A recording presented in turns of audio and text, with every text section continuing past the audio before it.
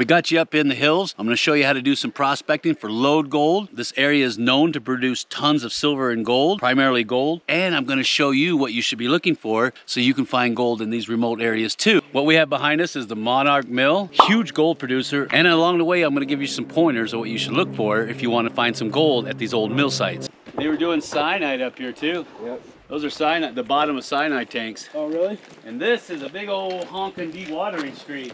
So the way these work is after they get done running a lot of the material through the crushers, primary and secondary, in the older days, they would use stamp mill batteries and they would have amalgamation tables to catch the big chunky stuff before they run it into cyanide. Because cyanide is no good on the large chunky gold. It only works on the very small, tiny, tiny, like 100 minus mesh gold. So what they would do is they would be running the tails through this and they would dewater it and that way they can get the water out and they could rerun it again. And then all the cake material on the outside, they probably collected it here. You can see the scraper right here. So chances are it's rotating clockwise. They would scrape it off. They would have this mesh here. Then they would pipe that down to the next tank and they would run it again. And they would get every speck of gold. We're gonna go up here and take a look around and I wanna see if there's any evidence of pieces of gold left because they didn't get it all and I'm gonna show you what to look for. Tell them who you are and what this is all about. My name's Danny. We're here at the Monarch Mill site behind Raw Peak, close to the ghost town of Como, Nevada. Looking at this oddball operation. Denny's been up here more times than I can count, and he says there used to be sluice riffles in here.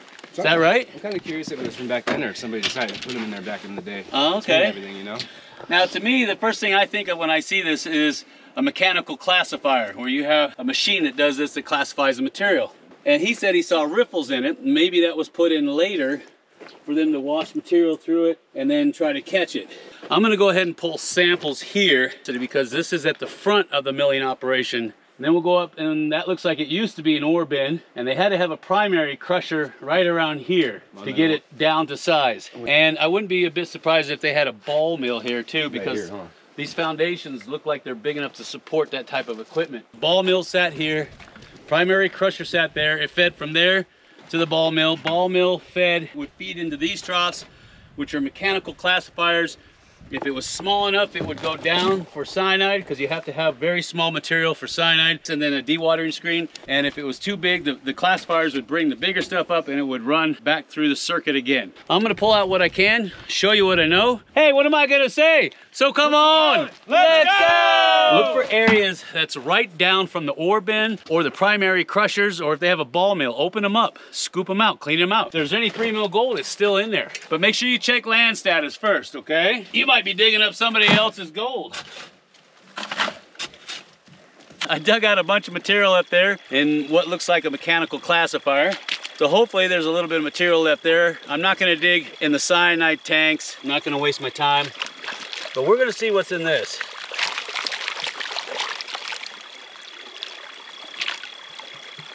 I got a whole five gallon bucket so we can at least see what we got.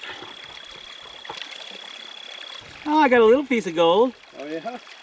All right, so what I'm gonna do is I'm gonna run through the entire bucket and then I'm gonna show you what I got. Hopefully you can see it on this GoPro. If not, I'll take a snapshot and throw it up later. Nasty. Oh yeah, right there, right there. That's what I hate about these GoPros. It's so hard to see anything. Don't worry, we're working on getting a magnifier so you can definitely see it.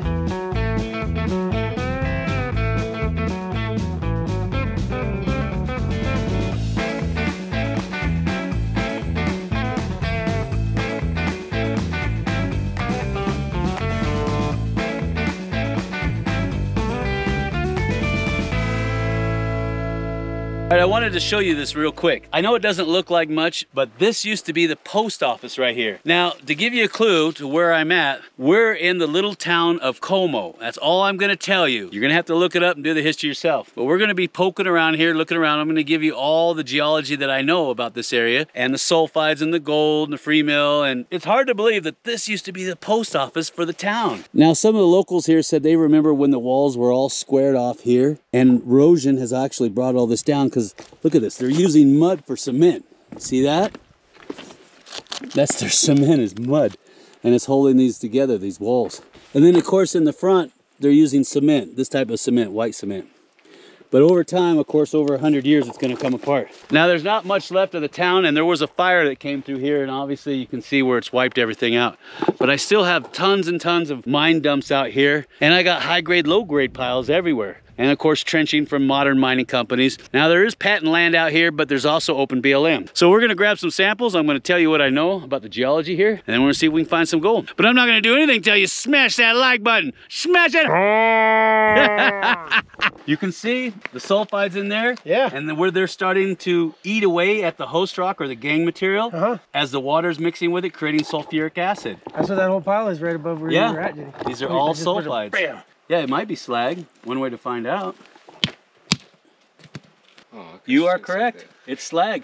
Who said slag? I, You're right. I, I got an A. Yay! So they got copper ore out here. You can see the silicates here and a few carbonates. This should be a no-brainer what's behind me. This is the foundations to a stamp mill. Now stamp mills are always a good sign because a lot of times you'd use stamp mills for free mill. And of course you'd use amalgamation. You'd have your copper plates on the other end of, of the stamp batteries. So as the ore comes out and it's crushed, runs across those copper plates that have a whole bunch of mercury on them. And of course the gold will stick to it. And then later you run it through a shaker table and then cyanide. But we have stamp mill here, mine dump there, and I have a whole bunch of tailings, because remember, mills make tailings, mines make mine dumps. So we're gonna look around to see if there's any piles of high grade just hanging around that never made it through. I'm looking at a lot of the basement rock here, and I've got a lot of andesite. Now what's interesting is this andesite has disseminated sulfides in it. What does that mean? Well, it tells me if I have any hydrothermal activity, it's gonna leach those out of the country rock and redeposit them in any of the fractures, fissures, or faults.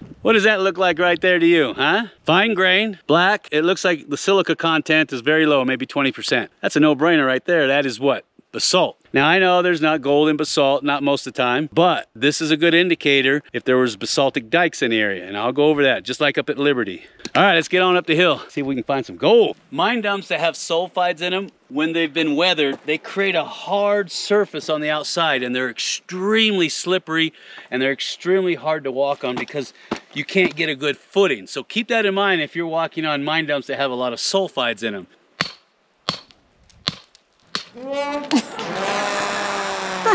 Not funny, man. I got a condition. it's not funny. A lot of this gangue material, which is the quartz, the silica, it's got tons and tons of sulfides. It's all disseminated in there. And when you break it open, you can smell it. It's a no-brainer. But gold can be associated with sulfides. Problem is, is you have to concentrate and roast them to find out. We're looking for free mill. We're not interested in sulfides. And stamp mills are good for free mill gold. And you can see where a lot of the sulfides are weathered. That's why you have all this iron staining here. And because it is oxidized, there could be a chance of free mill gold being in this. And it explains why there's a shaft on the other side of this tree. See this?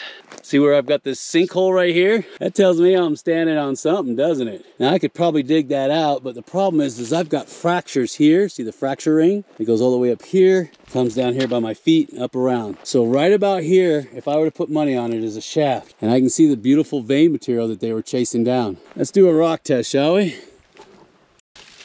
you were waiting for that to open up, weren't you? I was too. I see a lot of guys put their placer gold in glass vials. That's a big no-no, okay? Put it in plastic. Use an old snuffer bottle and plug the top. Why? Look at that. Somebody had a little vial, that looks like a one ounce vial, and it probably had some little pieces of gold in it and they dropped it and it shattered. So that's why you never use glass vials to put your placer gold in.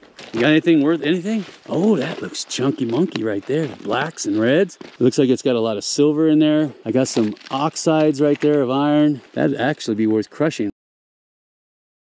I'm gonna have Chris Spencer. Denny. He's part of the Sutro Tunnel. He's part of the Sutro Tunnel, and he's part of the Sutro Tunnel. I'm gonna leave links down below so you can get a hold of these guys personally. They can take you out in the field if you ask them nicely. And I'll leave a donation bar below so that you can help them get their next series of sets in so they can drive it all the way back to the, I guess to the dam, right? 1,500 feet. Yeah, we'll get to the dam. Yeah. With your help. Exactly, because we can't do it without you guys. You know that. So, so you know what I'm gonna say, right? So Yeah. come on. Let's go! These are called hand stacks. Oh, and they're all over. I got one there. Look at I got hand stacking here.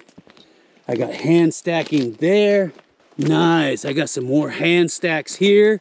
What that tells me is that they went to a lot of work to move all the overburden out of this wash and stack it up onto the sides here of the benches. And the only time you see that is when they're finding gold down on the bedrock. And that's why it's so important that you know how to identify hand stacking, okay? Because it's a good indicator that you're standing on top of some placer gold. Now, yes, I know they got a lot of it, but over a hundred years, that gold is washed down time and time again every time the wet season comes. So the gold can be replenished. So what you need to do is make sure you got your crevicing tools, your vac packs, and I'd even bring a metal detector just to check for the larger pieces. So we're gonna pull samples. oh, this got me really excited seeing this. All right, so I got all the material here.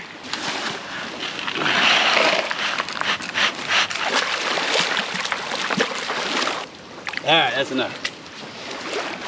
Let's see what we got. Ooh, I got a lot of black sand. You see that? Always nice to get black sand in there. Ooh, ooh, ooh. Look, look, look. Got a piece of gold right there. You see it? Ooh, a nice wiry piece of gold. Ooh, oh yeah, look, look, look, look, look. Nice. Hold on, let me tap that up. Nice. There's a wiry piece. There's a whole bunch of fines. There's some big chunky flakes in there all across there. So you know what that means, right? That's right. I'm gonna be going back there real soon like, and I'm gonna be filing a claim. That's what I want you to do is when you get out to areas like that, evidence of other placer working, I want you to get out there and I want you to start sampling, okay? But check your land status first. It's very important. Always note what you find. Make sure you log it down and you keep track because I've seen so many people and myself included will find gold. It'll come from a bucket. We can't remember where it came from and we just basically lost our mother lode. That is promising for a little tiny bucket. I'm impressed. Don't forget, we're giving away bars of silver. I'm talking huge bars of silver. They look something like this. We're giving away 25 ounce, 10 ounce, 5 ounce, 1 ounce. We're just giving away all kinds of silver bars. And if that wasn't enough, we're giving away bags of pay dirt and monster gold nuggets. This is the stuff dreams are made of. And if you hurry and sign up, we're also giving away a Gold Monster 1000. For your chance to win this stuff, just look for the little icon at the end of the video that looks like that. Click on it, make a $10 pledge, and you instantly become eligible to win this stuff. And if you want to see videos on how we mine this out of our drift mine, just click on that video right there, and we'll see you in the gold fields.